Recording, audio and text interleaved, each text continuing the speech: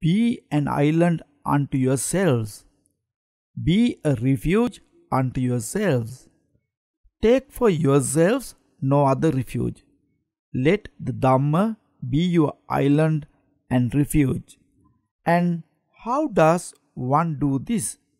Concerning these, one dwells, contemplating the body in the body, feeling in feeling, mind in mind, and mental objects in mental objects, ardent, clearly conscious, and mindful.